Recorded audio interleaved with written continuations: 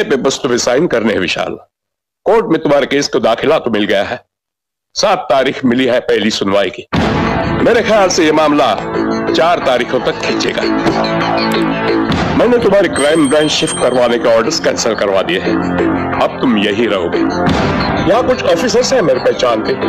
वो तुम्हारा खास ख्याल रखेंगे। बस, अब तुम यहाँ कुछ गड़बड़ मत करना। तैश में अगर तुम्हारा खुद पे काबू तो रहता नहीं। और मैं नहीं चाहता कि तुम्हारी चार्जशीट में कोई नई बात जुड़े।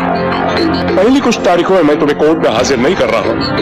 मैंने तुम्हारी मेडिकल रिपोर्ट्स लगा दी है। हो सकता है पुलिस का कोई मेडिकल ऑफिसर तुम्हें एग्जामिन करने आए तुम उसके साथ आप बेफिक्र रहिए खुराना साहब। मैं यहाँ कोई गलती नहीं करूँगा।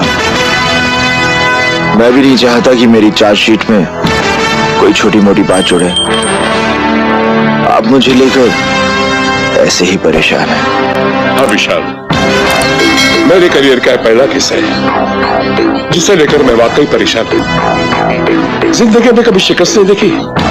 शायद ये भी वजह हो सकती है। खुराना साहब आपकी काबिलियत पर आपसे ज़्यादा मुझे भरोसा है। ये केस आप ही जीतेंगे। यकीन कीजिए इस केस के बाद कानून के इतिहास में